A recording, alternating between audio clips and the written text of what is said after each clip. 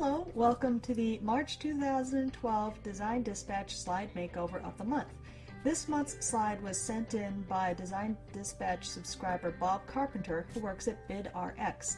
BidRx is a company that wants to become the Priceline.com or the eBay of the pharmacy world so that people will be able to go online and comparison shop for their prescriptions.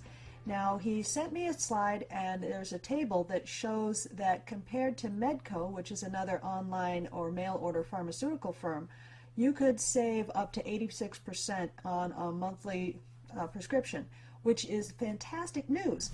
However, the problem was that Bob presented this information in the form of a table, and that really gets lost in all of the other elements on a table. When you're creating a slideshow, you really want to get away from tables because tables take time to read and interpret, and the viewers are not getting the message that might be the most important message. So I've redesigned this slide so that it's extremely obvious that patients will save money using BidRx compared to Medco. So why don't we take a look at the slide and see how I made it work. Here we are at the original slide and the title, Individual Savings Example, while it is a description of what this table shows, it's not a very interesting description and I like to counsel my clients to try to come up with headlines for titles so that they ask compelling questions or have some kind of a teaser statement which is then supported by what you see in the slide. This table is complicated by several factors, one of which is that the dollar amounts go out to two decimal places, which is really too much information to show the trends that uh, Bob wants to show. We have the prescription amounts, of 40 milligram tab times 90 tablets for the first medication. That is information that also does not uh, help you to see the, the price trends in this uh, comparison. Finally, the total average savings, while they are called out a little bit at the bottom of the slide by being blue and bold, they're not nearly called out as much, and that information gets lost. In the redesign, I'm going to make sure that everybody knows about the savings that people can get using BidRx.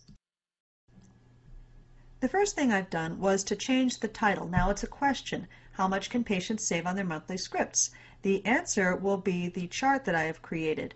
It is a column chart with side-by-side comparison of Medco and BidRx to more clearly highlight the fact that BidRx's prices are lower. Here's how it animates. I've sped it up for this presentation here, but if I were presenting in front of the audience, I would slow the animation down. The, um, it's clear from the size of the columns that Medco prices are greater than BidRx prices. But I have also changed the color. So now Medco is red, which is a warning color or stop sign, or it's generally a negative color when, when viewed in financial uh, terms.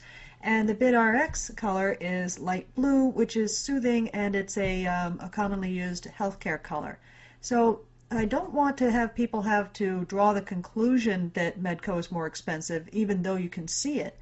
The next animation shows it. It gives you the total monthly Medco cost and then the total monthly BidRx cost with a little swoosh circling around the savings so that makes it completely obvious that the BidRx cost is lower than that of Medco.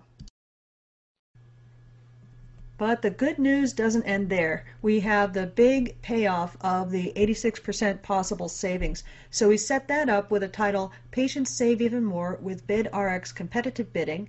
And on the animation, we see that two drug prices drop dramatically. But rather than let the audience uh, come to the conclusion that the patients are saving a lot of money, we tell them the monthly Medco cost is $474. The monthly BidRx cost is $65. Big swoosh circle, patient saves 86%. Now that is the most important takeaway from this slide. If you like this slide makeover and wonder how you can get one for yourself, well, it's very easy. All you need to do is subscribe to the Design Dispatch by clicking on the link. The Design Dispatch is my monthly PowerPoint newsletter that comes out on the first Wednesday of every month, and it always has a slide makeover of the month as well as links to my blog where I teach you some of the tips and tricks that I use to make better PowerPoint.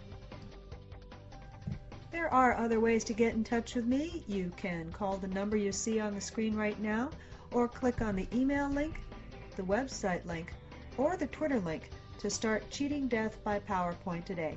Thanks very much. Tune in next month for the next slide makeover of the month.